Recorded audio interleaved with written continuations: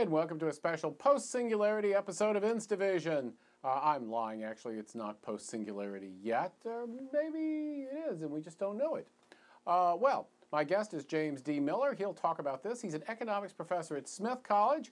He's the author of Singularity Rising, Surviving and Thriving in a Smarter, I like that, richer, I like that, and more dangerous, maybe I don't like that so much, world. Uh, great, welcome. Glad to have you here. Oh, thanks for having me on your show, Glenn.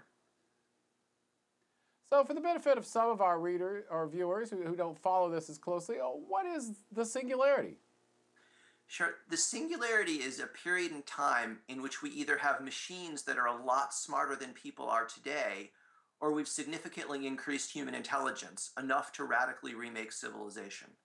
Yeah, well, in your book, you talk a lot about increasing machine intelligence, and you have this sort of takeoff spiral uh, that you posit where we design machines that are smarter than us, and then they're able to design machines that are smarter than them, and, and so on uh, as one path. Uh, another path is where we just make ourselves smarter and smarter. Um, why are we so sure that intelligence is so important? I mean, we're a lot more intelligent than an ant, uh, but what's relevant to the ant isn't that we're smarter than it so much as that we can step on it. Uh, well, that's true. Well, intelligence is really um, optimization power. It's the ability to solve problems. And so, almost tautologically, as you get better at solving problems, you you can you know achieve more of your goals. So, in some ways, if you have goals, the smarter you are, the better you'll be able to achieve them. Yeah, I mean that's uh, intelligence is sort of the universal solvent in a lot of ways. You know, it's it's amazing how many how many different things turn out to be better if you're smarter. Uh, and there's all kinds of research on that. You know, I, I, I, know the troops in combat who are in the lower range of the IQ thing die a lot more than troops who are in the higher, even if everything else is the same, because turns out it's just better to be smarter, even when people are shooting at you. I, I just wonder if that if that projects onward, though. I mean, one of the things that strikes me as interesting is um, in the natural world, uh, IQ is not that rewarded, or at least it seems like human IQ has been relatively stagnant and if it were that much better to be twice as smart as we are, uh, that that would have evolved, unless it's just that it's too expensive. Yeah, I think it probably is too expensive. I mean, our brain already uses so much energy, and we have to get you know our heads through the birth canal. That there are significant evolutionary constraints on intelligence, but these won't apply to machines, and they, they don't have to apply now in a world in which most people actually have too many calories rather than too few. Yeah, well, we have smart machines, uh, and they're getting smarter, uh, and that's probably good. But I, I do note in fiction, uh, the portrayal of smart machines is maybe not universally, but pretty overwhelmingly negative. Uh, like in well, this clip from the Terminator movies, for example. They lived only to face a new nightmare the war against the machines.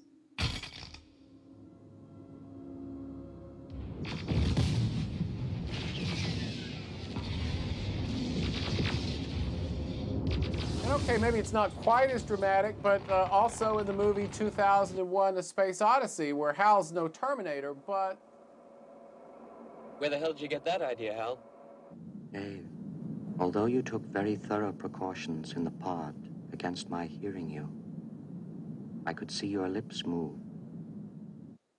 So, will uh, super smart machines inevitably be dangerous, or is this just uh, that uh, fiction does better with a strong villain than with a, I don't know, a strong uh, artificial intelligence hero?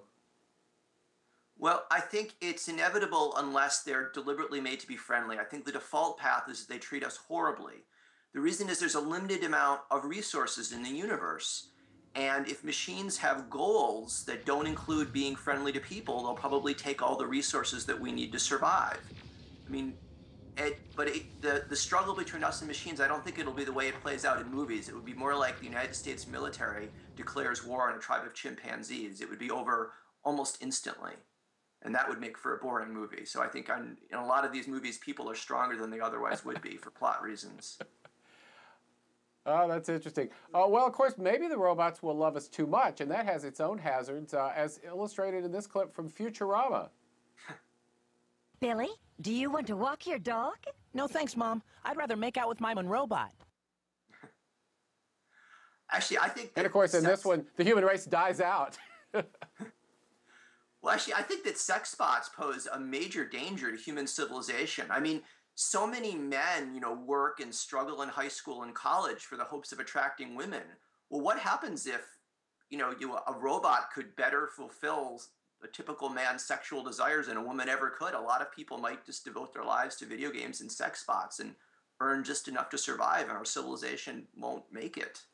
I think we're actually seeing a precursor of that right now with internet porn and video games. I think that's a that's a, a pretty low intensity version of sex bots, but even there, I think you you in fact are seeing, according to a lot of you know pop culture accounts, uh, that uh, young men are to a greater degree sort of dropping out of the dating market. Yeah, I know. I, I think you're right. In, in some ways, I mean, porn is like candy. It's it's hacking an evolutionary desire that we have, but it does it in a way that actually reduces our, our, our fitness. And so this you know, some people I think have proposed this might be an answer to Fermi's paradox of why haven't intelligence intelligent aliens contacted us? Well, maybe you inevitably develop sex bots and you you lose interest in everything other than that. so they die out, but at least they die out happy. That's better than the Terminator. Uh, yeah. Well, what can we do to make things safer? You talk about sort of uh, basically uh, programming AI to be friendly. How do you do that? Well, I'm the, the best way is to develop a mathematical understanding of friendliness. And there's actually people in an organization called the Singularity Institute that they're trying to do that. They're not currently writing computer code, but they're trying to reduce to equations what constitutes friendliness. And it's really difficult because you're going to have these computers get smarter and smarter. So you need a computer that starts friendly and stays friendly. And so their goal is to figure out how to create friendly software before we actually have these super smart AIs. In a sense, there's a race, and if we don't win, our species is probably doomed. Yeah, I guess the hardest part is, is making something that doesn't contain loopholes that could be exploited by somebody who's a whole lot smarter than you. Uh, yeah. And uh, it takes us a long way beyond Asimov's three laws, uh, certainly. Uh, and yeah, actually, I talked to a guy who was a, a screenwriter. He wrote for the uh, Sarah Connor Chronicles Terminator spinoff and I was telling him, you know, well, this is just an argument for why we need friendly AI. And his response uh, was, how do you know Skynet didn't start out as friendly AI? So, you know, that's, uh, that, that, that, was apparently part of their story arc that didn't ever get used. Uh, how do you do that? Well, first, I mean, it might not be possible. Nature doesn't always pose fair challenges to species. I, we hope there's some people who are extraordinarily good at math who are working at the Singularity Institute and they're trying to attract the best and the brightest of the world, and hopefully they can figure it out. But again, it, this really will come down to math. Can we write a computer program where we're mathematically certain that it will be friendly and stay friendly towards us? Now, the advantage is once you have something that's friendly and smart, if it were to improve itself, it would have a desire to stay friendly. So, just as you would never take a pill that would cause you to hate your children, a computer that was genuinely friendly would never allow itself to be modified in a way that became unfriendly. So, we essentially got to get it started, and then we can count on its own super intelligence to maintain its friendliness. But whether it's possible to get it started, that's not certain. I mean, it, it might just be that our species is doomed. Well, that's a cheerful note. Uh, well, perhaps we can program in love I suppose the other possibility is we don't have to worry about super intelligent AIs killing us off because we can follow a path where we basically become super intelligent AIs ourselves. Yeah, that is another path a lot of people talk about where we merge with machines, where we keep putting, you know, computer implants into our brains, and uh, we become smarter and smarter. Um, I think this is almost certainly something that will happen if we don't first create the super intelligent AIs. Now, of course, the problem with this path is we don't know when we start messing with the human brain, what will that do with our value systems? Or will it empower people who aren't, you know, very, very nice? But it, it does seem likely, though, that going sort of the pure machine intelligence route, that does have a much higher potential because our, our brain is software that runs on meat and it runs on meat that's not very fast at transmitting information compared to what we can already do with computers. But I think the most hopeful approach is to sort of increase human intelligence as fast as we can so we become smart enough to figure out how to create super smart AIs. Well, I, what about the approach of just banning all this stuff? Uh, I don't think that's possible. I mean, there's it could be that 25 people in a basement are enough to create a super intelligent AI. Plus, there's a lot of other things that can wipe out our species besides unfriendly artificial intelligence. The great thing about AI is if we get that right, that takes care of all our other problems. So we don't have to worry about global warming or plagues or asteroids blowing, you know, destroying us if we can create super intelligent computers. So I think our best path is to focus on trying to get really, really good and friendly AI, and that will that will probably cause us to be able to survive till the end of the universe. Well, I suppose the advantages for a military or, for that matter, a hedge fund in having a super intelligent AI or even a somewhat smarter than the smartest people AI uh, are so great that it would be hard to get any sort of a ban to really hold water. Yeah, I think you're definitely right.